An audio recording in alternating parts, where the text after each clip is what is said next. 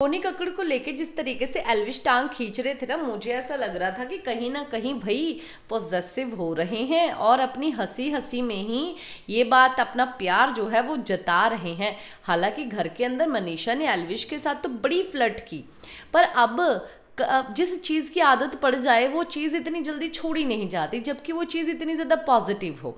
अभी एलविश को कहीं ना कहीं मनीषा की आदत और उसके फ्लर्ट की तो आदत पड़ ही गई थी। फ़ोन कर लिया वेब सीरीज़ के बारे में पूछ लिया, मनीषा ने बोल दिया कि, भाई, बब्बू अगर करना है तो प्लान करना सेप्टेम्बर में, अब मेरी डेट्स जो है वो बिज़ी हैं और टोनी कक्कड़ के साथ मेरी शूटिंग है। ये कल की बात थी और आज शूटिंग चल रही है टोनी कक्कड़ के साथ।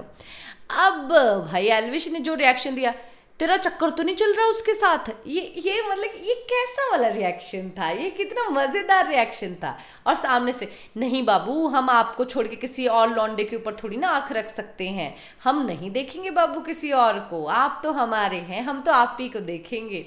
अरे यार मतलब ये एलविश जो है, ये प्यारी सी फ्लर्ट को मिस तो ज़रूर कर रहे हैं। भाई, मुझे तो लगा कि एलविश मिस कर रहे हैं। इसीलिए उन्होंने क्लियर किया कि भाई, सब लोग बोलते हैं, मैं तो क्लियर कर लूँ कि सच में इसकी एलविश के सच में इसकी टोनी कक्कड़ के साथ चक्कर तो नहीं चल गया? पर मनीषा ने क्लियर कर दिया कि नहीं, ऐसा वैसा चक्कर वक्कर नहीं है। अब रिलैक्स हो गए एलविश।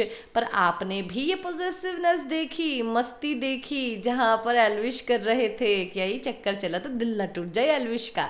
इसी के साथ मैं लेती हूँ इजाज़त, नमस्कार।